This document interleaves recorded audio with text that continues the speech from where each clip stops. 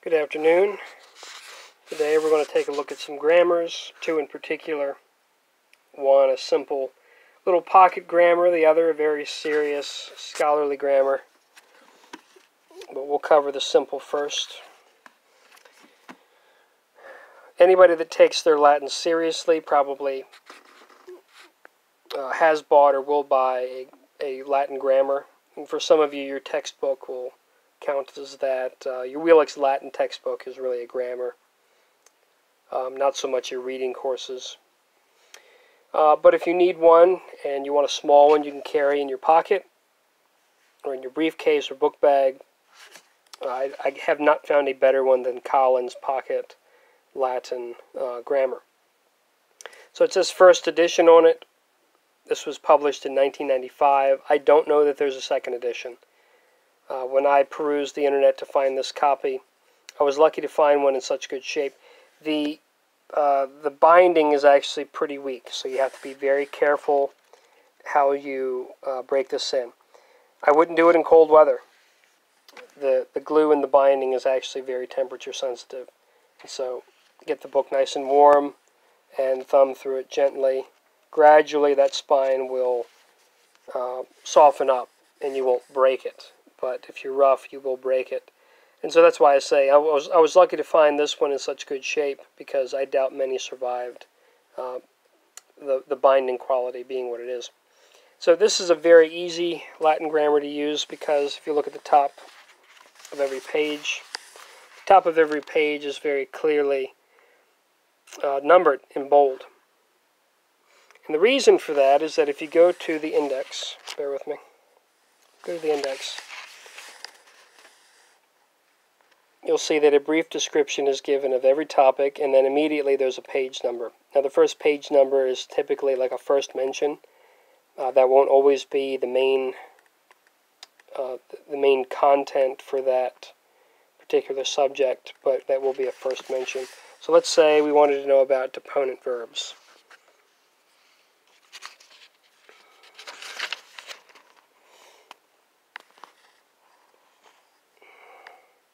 Here at the top right hand corner of index 243, you find deponent verbs. First mention is page 22. First conjugation, deponent verbs, is page 188. Second conjugation, 190. Third and fourth, so on. So let's go to the first, not the first mention, we'll go to the first conjugation, page 188.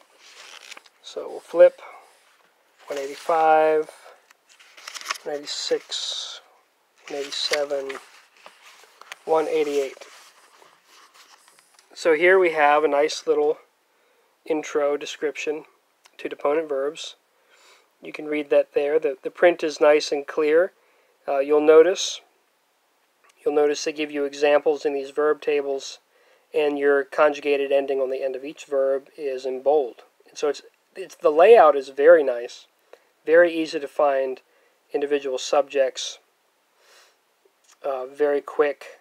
The way it's laid out catches your eye. So if you want to separate the stem from its ending, it's very easy to do with the bolded lettering here. And one follows right after the other. First conjugation deponent verbs is followed by second, third, and fourth. And so maybe the arrangement isn't necessarily logical in a logical progression, but the way things are grouped is fairly logical. And again, when you look at the bolded page numbers in the corners. It's very easy to find the right page that you're looking for if you begin in the index. You'll also see that for a given subject, in this case it's tenses, there is on the opposing page something titled Examples. So, prima luce Caesar Gallus appugnat, that is, at the first light, Caesar uh, fought with the Gauls. Here it says Caesar attacked the Gauls at dawn. Uh, Alexander jam tres regit. Alexander, already or, or at this point, uh, reigned for three years. And so these are demonstrating various tenses, but the uh, the nice thing is that you get all these examples to uh, to show you what was explained on the opposing page. And so I like that layout, I like that system. Typically, it gives you a full, full orbed, fully fleshed out number of examples to cover all cases. And uh, I, I, don't think that could be done any better. Um, in addition to basic grammar, you have your verb tables for all of your irregular verbs. So that's very helpful, especially with the AO verb and uh, fero and your uh, your verbs of to be. All those have to be learned by heart, and if not, then you have to look them up all the time. So having a small volume makes these things very easy to look up. Having an excellent index and an excellent numbering system makes it uh, a breeze to use, and the fact that it provides you so many examples of each concept means that you could practically teach yourself the language out of this book uh, if you had a good teacher or were highly motivated. So I recommend this. I don't think I paid much more than $10 for this used. Um, I do wish that they had this available brand new. This one's 25 years old. Good luck finding a nice clean copy, but I would I would say even if you can't find a nice clean copy, um, any copy uh, with all the pages intact would, would suffice. So I do recommend this highly. Then we have this uh, this antique here. And I, I don't exaggerate when I say antique. Let's look at the date. Let's look at the publication date. Let's read that. Let's get it to focus. Focus. There we go. 1892. So this thing's pushing 130 years old. Um, it's got a signature in here from its first owner, I'm assuming. Signature is from a Blake Eugene Layton. That's not 1960.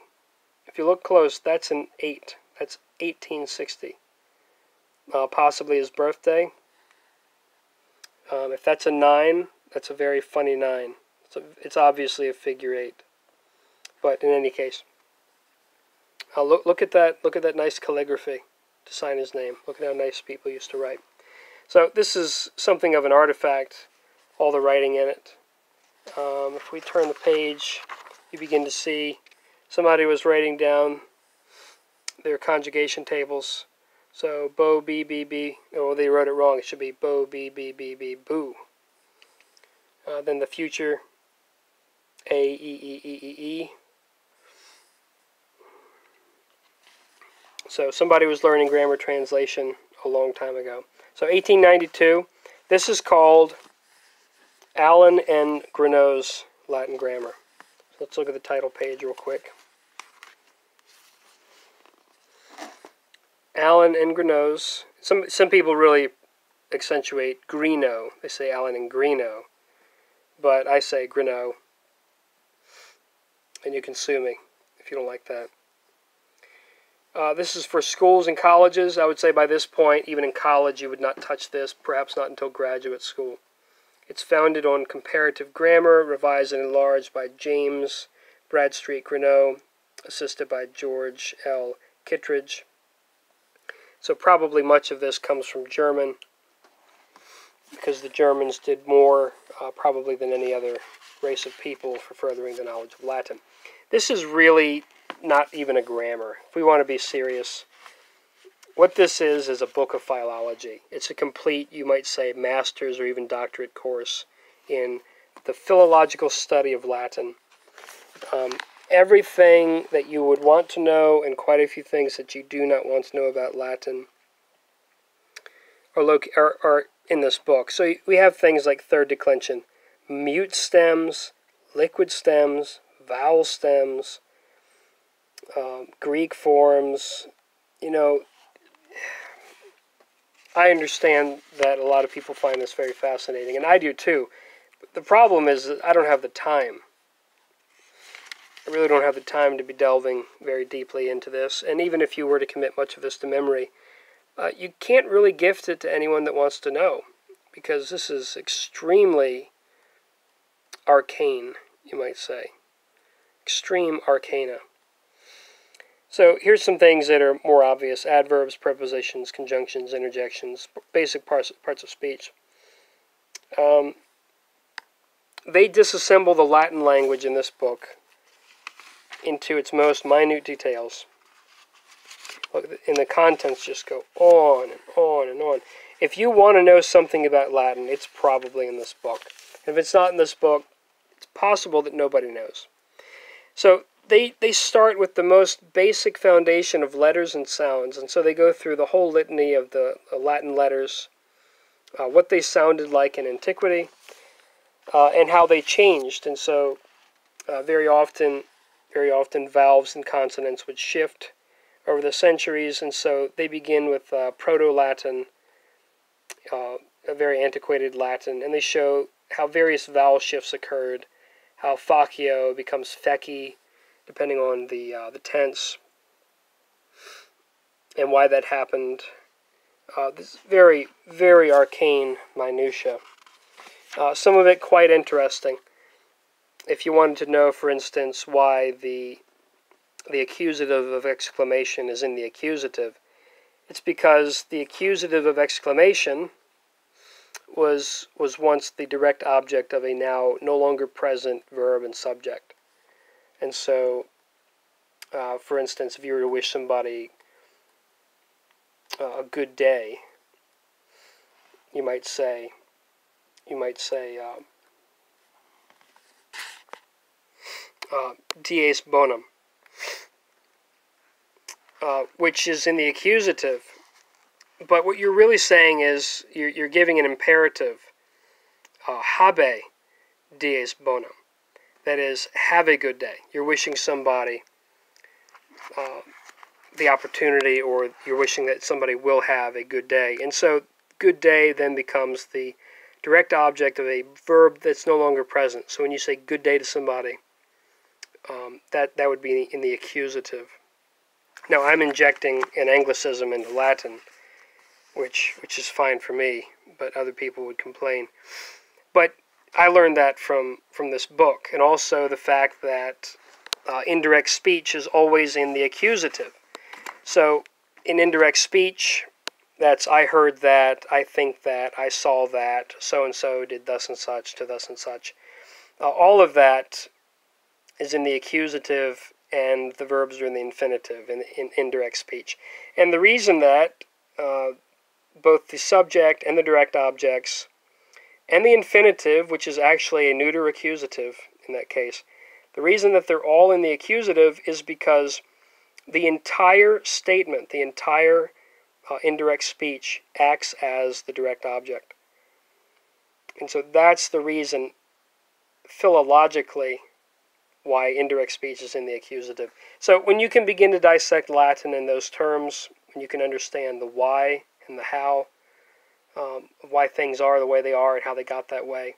You understand Latin in such depth that um, your insights will be will be very piercing, pierce to the heart of the issue, and your interpretation of the text uh, will will be very firm, possibly without any fault, because you can you can support your conclusion so thoroughly. So this book, if you were to study this book, uh, you would be on par. If you could understand it all, you would be on par with anybody holding a PhD in the classics, probably. Um, almost not even a grammar. This is more like a work of philology. Allen and Greenough versus Collins, Pocket Latin. Uh, for practical purposes, Collins Latin wins out. It's uh, portable, very easy to use, very quick to use, very accurate with a lot of examples. Uh, Allen and Greenough, very cumbersome. It would take a long time to look anything up, even longer to read about it. Uh, you may not understand much of it immediately.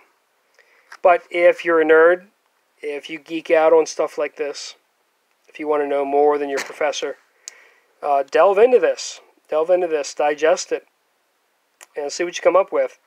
Um, it will give you tremendous insight into all of your Latin uh, translation work. And this was, for a long time, the gold standard in, uh, in Latin grammatical pedagogy. So give these two a shot. Uh, you'll probably have an easier time finding the Allen and Greenough simply because this has remained in print, whereas the Collins may not have remained in print. So pick up both of them if you have the spare change. Uh, but again, I would go with the Collins uh, if, if practicality is your primary concern. So you can like this, you can subscribe, you can disagree uh, vehemently in the comment section. Uh, but the more interaction I get, the more I'm encouraged to uh, to add to the overall corpus of review materials.